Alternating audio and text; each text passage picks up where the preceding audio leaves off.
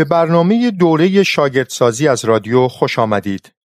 در این مجموعه تعلیمی یاد خواهید گرفت که شاگرد عیسی مسیح باشید. یک معلم با استفاده از کتاب مقدس تعلیم خواهد داد که شاگرد عیسی دعا می کند. در حالی که به این برنامه گوش می کنید، در یک دفترچه یادداشت بردارید یا برنامه را ضبط کنید. عیسی می گوید بخواهید تا به شما داده شود. پولس می گوید پیوسته دعا کنید و یعقوب می گوید دعای صادقانه مرد درستکار قدرت و تأثیر شگفتانگیز دارد. کتاب مقدس در مورد دعا تعلیم بسیار دارد.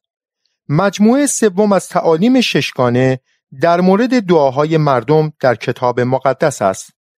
از دعاهای پیروان مختلف خدای زنده چیزهایی خواهیم آموخت و عناوین دروس اینها هستند. دعاهای مزامیر، دعاهای انبیا در کتاب مقدس و دعاهای رهبران در کتاب مقدس. هر عنوان در دو بخش خواهد بود.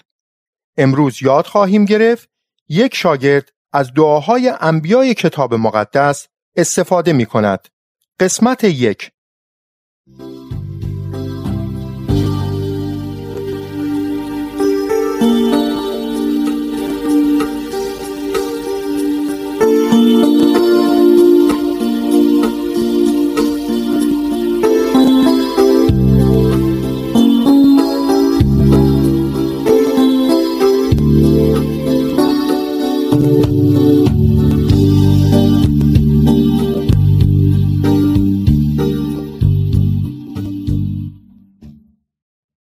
در اسرائیل انبیا معمولا نماینده خدا در نزد مردم بودند. آنها کلام خدا را به مردم می گفتند. بیایید به این دعاها و تلاشهایی که انبیا در حال انجام تکلیف خود می کردند توجه کنیم. در قسمت اول از دعاهای سموئیل، ایلیا، علیشه و اشیای نبی خواهیم آموخت. نکته یک دعاهای سموئیل نبی سموئیل نبی بیش از سه هزار سال قبل زندگی می کرد. او در واقع قبل از اینکه اسرائیل پادشاهی داشته باشد آخرین داور اسرائیل بود. اول برای مشکلات خودتان در حضور خدا دعا کنید. در اول سموئیل فصل 8 آیه 6 الی 22 می‌خوانیم که قوم اسرائیل درست مانند اقوام اطرافشان خواستار داشتن پادشاهی شدند. این موضوع سموئیل را به قدری ناراحت ساخت که به خاطر این موضوع در حضور خدا دعا کرد و خدا دعای سموئیل را پاسخ داد و دقیقا به او گفت که چه باید بکند.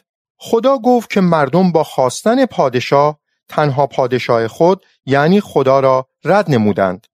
خدا تصمیم گرفت که درس بسیار سختی به اسرائیل بدهد. او به سموئیل گفت که به آنها اجازه دهد که پادشاهی داشته باشند اما در عین حال به آنها هشدار بدهد که پادشاهان زمینی بسیار پرتوقع می باشند پادشاه زمینی پسران آنها را در ارتش به خدمت خواهد گرفت و بسیاری از آنها را در نبردهای خود به کشتن خواهد داد.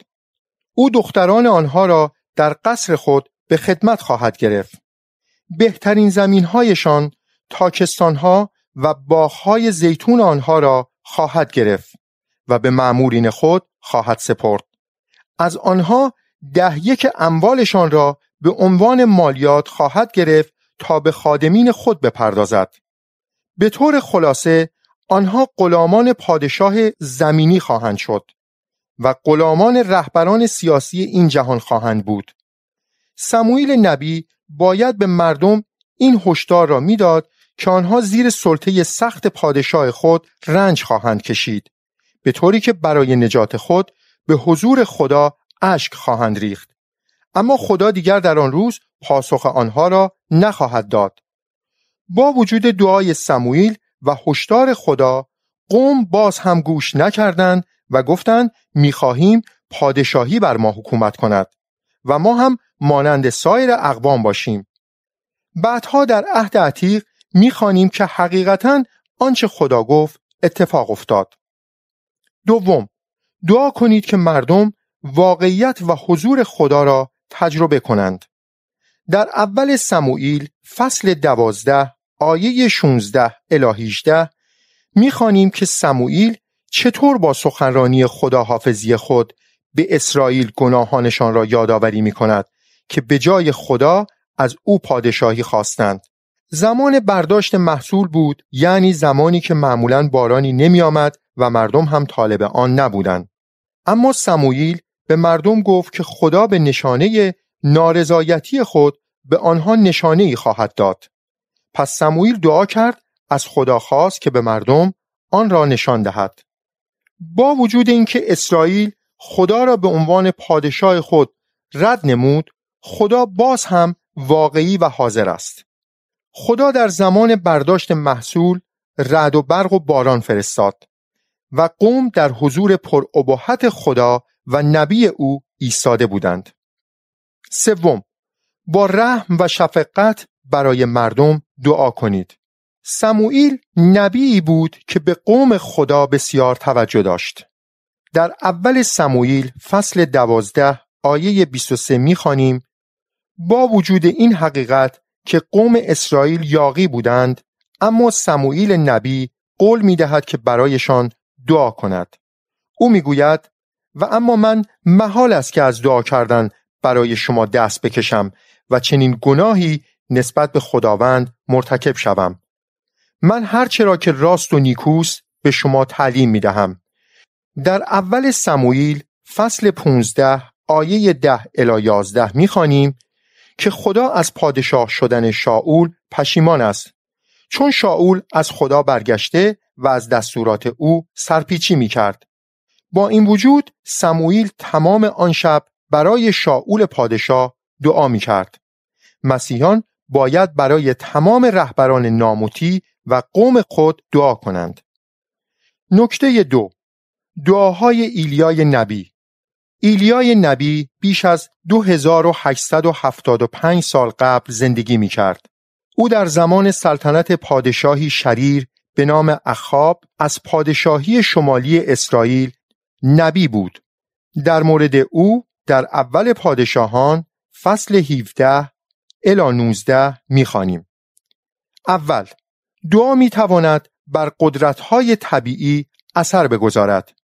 خدا به اخاب پادشاه از طریق ایلیای نبی پیغامی میفرستد که به مدت چند سال باران یا حتی شبنمی نخواهد بود مگر اینکه نبی از او بخواهد و به مدت سه سال و نیم خوشسالی وحشتناکی اتفاق افتاد در دوران خوشسالی بیوه از ایلیا مراقبت می کرد.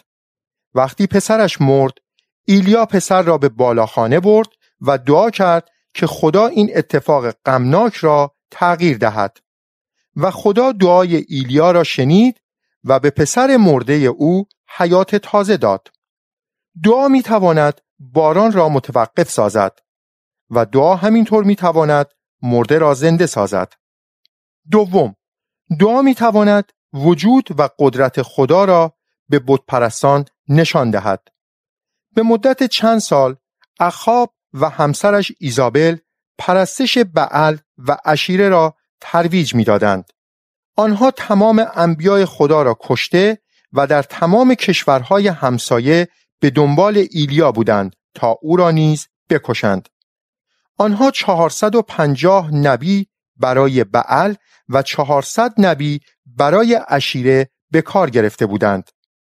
بعل و اشیره اسامی بتهای مذکر و معنس خدای باروری کنعانیان بودند. خدا ایلیا را فرستاد تا با اخاب و ایزابل مبارزه کند. اخاب باید 850 نبی و همینطور تمام قوم اسرائیل را دعوت می کرد تا مقابله بعل و اشیره را از یک طرف و از طرف دیگر خدای زنده را ببینند. ایلیای نبی مردم را توبیخ کرد و گفت تا کی می خواهید هم خدا را بپرستید و هم بتها را. اگر خداوند خداست او را اطاعت نمایید. و اگر بعل خداست او را پیروی کنید. اما قوم هیچ جوابی ندادند. سپس انبیای بعل را با ساختن مذبحی به چالش دعوت نمود. او از آنها خواست که گاوی را تکه تکه نموده و آن را بر هیزم بگذارند ولی آتش روشن نکنند. او نیز همین کار را خواهد کرد. سپس آنها از بتهای خود بخواهند که آتش را روشن کند. خدایی که با آتش پاسخ دهد خدا است. آنها موافقت کردند. تمام صبح انبیاء بعل اسم او را صدا می‌زدند اما پاسخی نبود. سپس تمام بعد از ظهر اطراف مذبح رقصیدند. نام بعل را فریاد زدند و برای جلب توجه بعل خود را با شمشیر می‌زدند.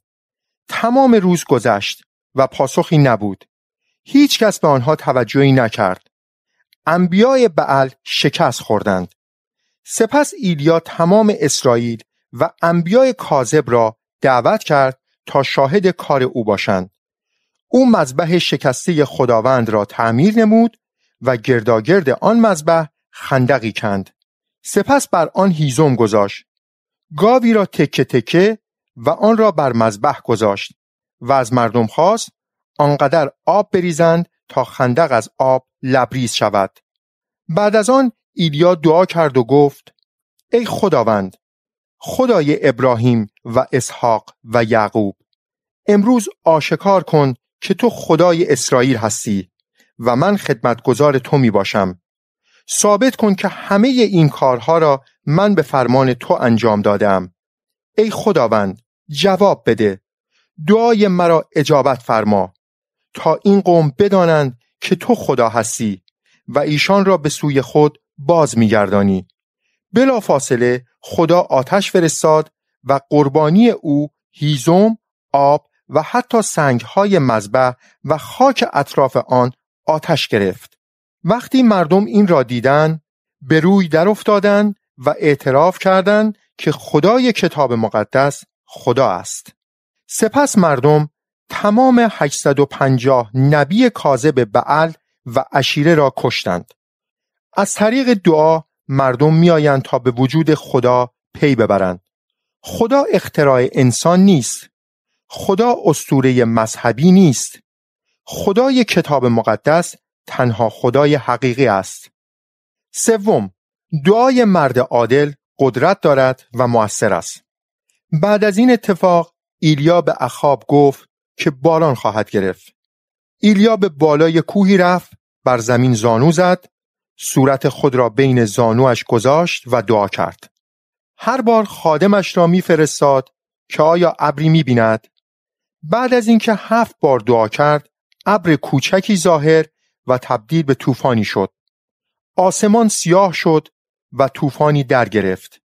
باران شدیدی بر اسرائیل باریدن گرفت. در یعقوب فصل پنج آیه 17 الی 18 در مورد این دعا می‌خوانیم الیاس انسانی بود همچون ما. با این حال هنگامی که با تمام دل دعا کرد که باران نبارد برای مدت سه سال و نیم باران نبارید. و زمانی هم که دعا کرد تا باران بیاید بارش باران آغاز شد و زمین محصول آورد. به همین صورت دعای مسیحی عادل هم قدرتمند و مؤثر خواهد بود.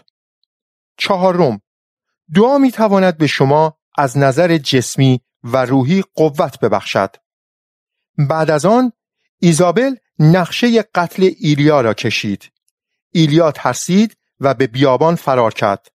بعد از یک روز سفر زیر تابش خورشید سوزان زیر درختی نشسته و دعا کرد. او به خداوند گفت که دیگر بس است و او ترجیح می دهد بمیرد. او به خواب رفت و فرشتهای برایش غذا و آب آورد. ایلیا توسط خداوند قوت گرفت و نیرو یافت تا به مدت چهل شبانه روز سفر کند و به مقصد برسد.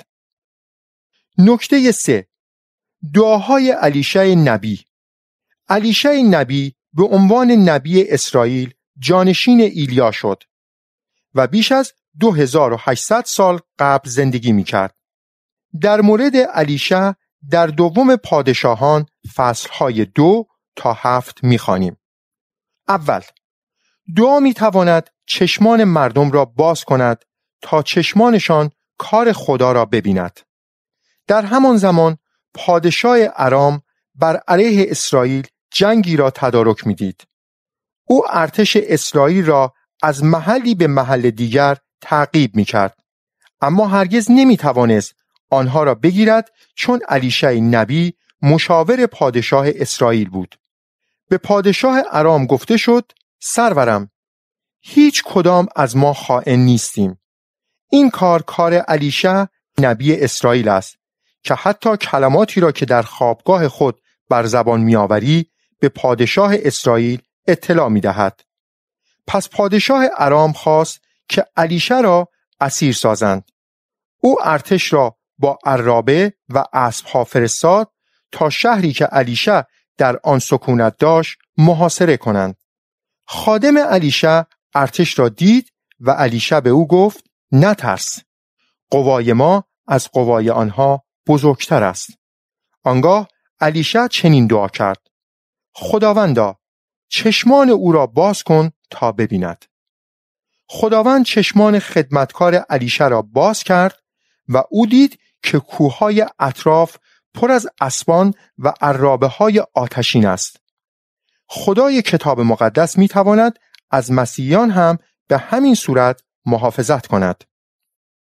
دوم دعا می تواند چشمان جسمانی دشمنان را طوری نابینا کند که نتوانند به کارهای شریرانه خود ادامه دهند. پس علیشه اینطور دعا کرد. تمنا اینکه این گروه را به کوری مبتلا بسازی. پس ایشان را به موجب کلام علیشه به کوری مبتلا ساخت. پس آنها سرگردان شده و نمی توانستند راهشان را پیدا کنند.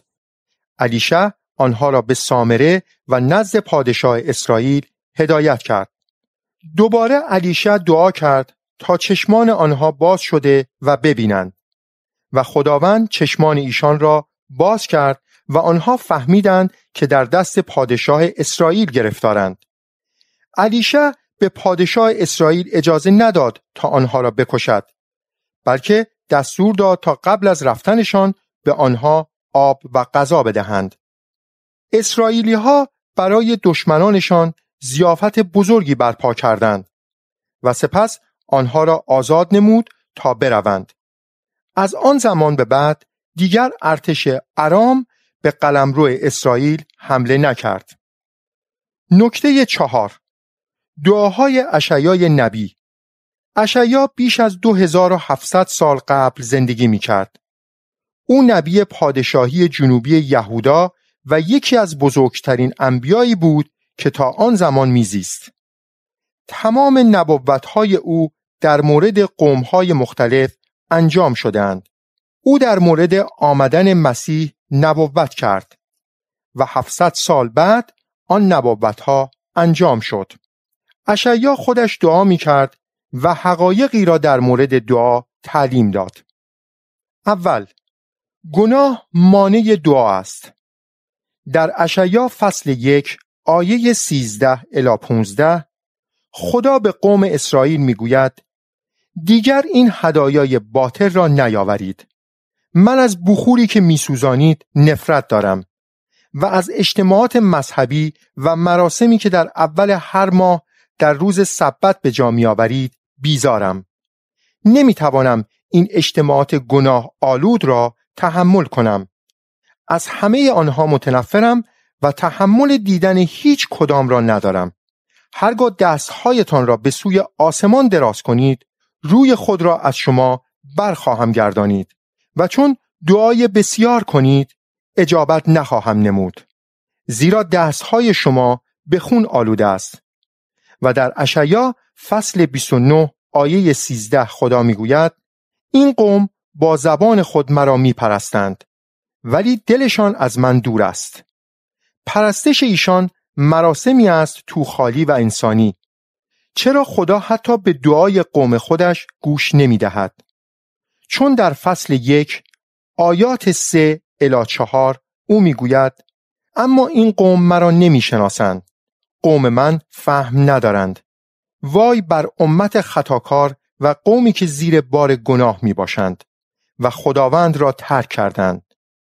در اشعیا فصل 59 آیه یک الا دو او چیز مشابه دیگری می‌گوید ای مردم فکر نکنید که خداوند ضعیف شده و دیگر نمی‌تواند شما را نجات دهد گوش او سنگین نیست او دعاهای شما را میشنود اما گناهان شما باعث شده او با شما قطع رابطه کند و دعاهای شما را جواب ندهد انجام هر نوع شرارت مانعی برای دعا می باشد خدا قدوس و عادل است و او مطمئنا از گوش کردن به دعاهای انسانهایی که در گناه هستند خودداری می کند. فساد روحانی و فساد اقتصادی مثالهایی از گناه هستند. فساد روحانی نشناختن شخصی خدای کتاب مقدس است. پشت کردن به خدا و گوش نکردن به او در هنگامی که سخن می‌گوید.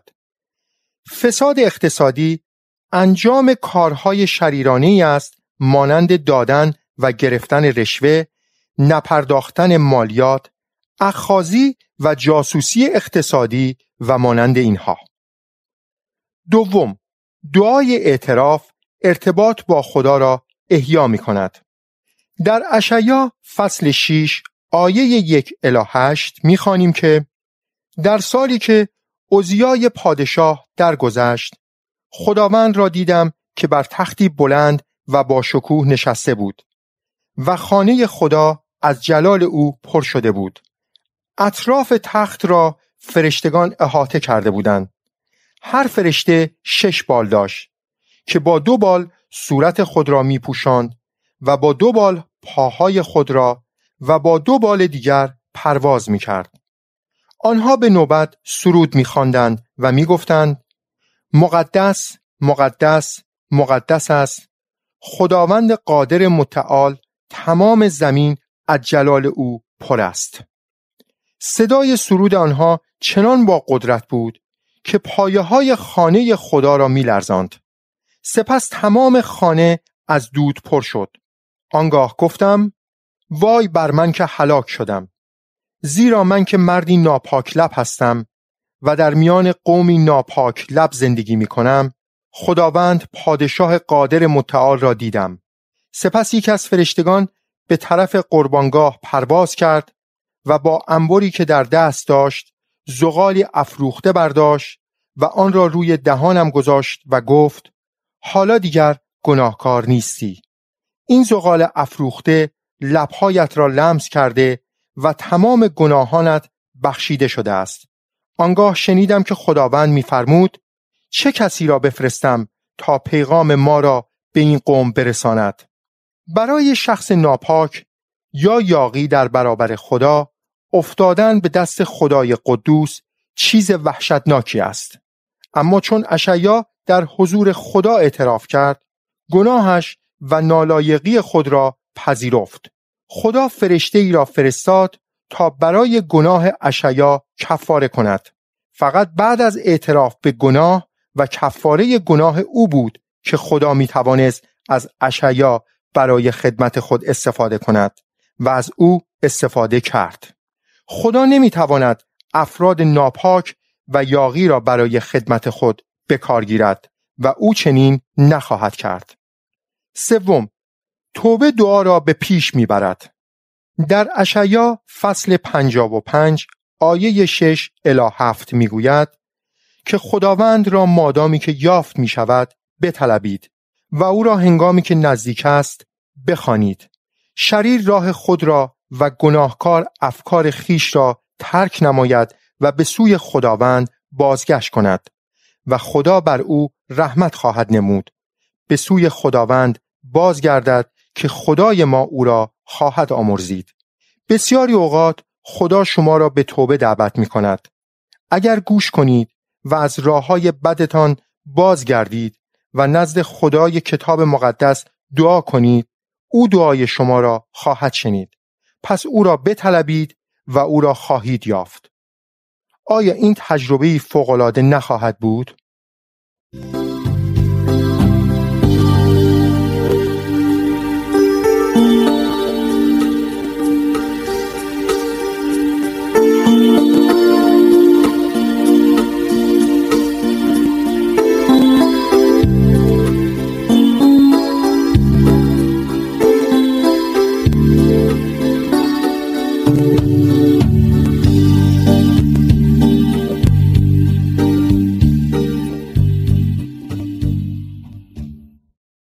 تکلیف برای هفته آینده.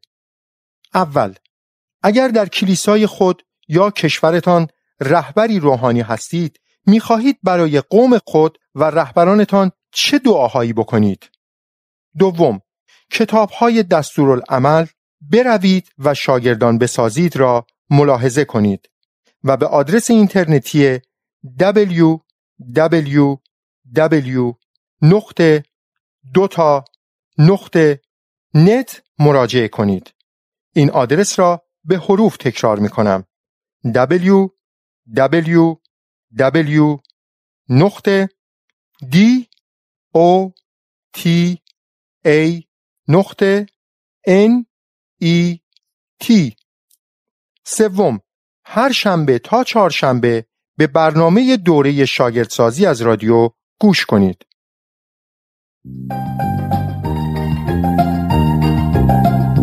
مرا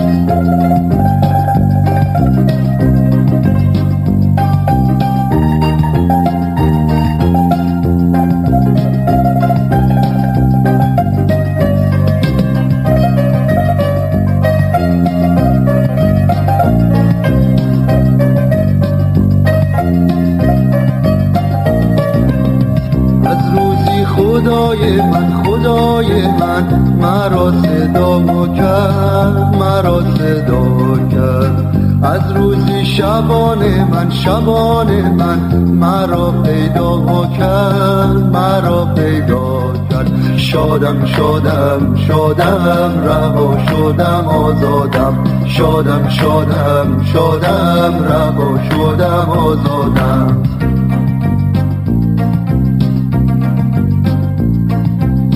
از وقتی عشق ایسا مهر ایسا قلبم را پر کرد قلبم را پر کرد. سر سپردم مراهش بر درگاهش. تولدی نو زندگی روشن. شادم شادم شادم رها شدم آزادم. شادم شادم شادم رها شدم آزادم.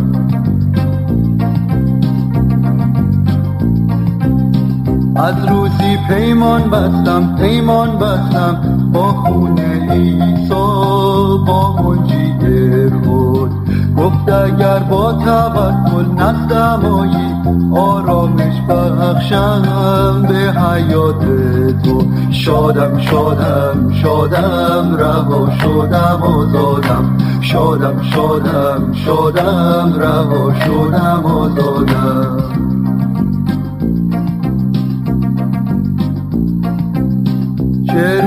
شادی بخشی شادی بخشی.